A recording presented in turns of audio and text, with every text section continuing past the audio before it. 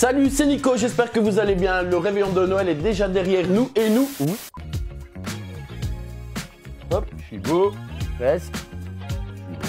Salut, c'est Nico, une capsule un peu spéciale, une capsule on n'y comprend plus rien. Après les montagnes russes des derniers jours, on voit que le monde de la culture peut faire bouger les choses.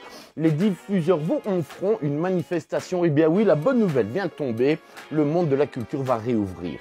Alors moi, je vais pas être très long. On se retrouve la semaine prochaine avec un agenda culturel complet, une invitée. Portez-vous bien, faites bien la fête et plus que jamais, mais plus que jamais, restez curieux.